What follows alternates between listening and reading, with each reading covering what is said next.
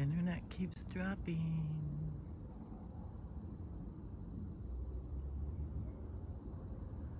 I might be able to get the last one back.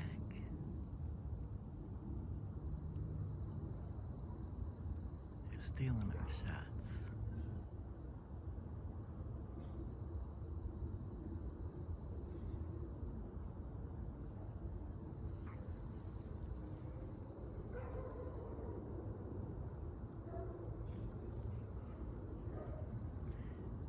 Internet's been dropping a lot today.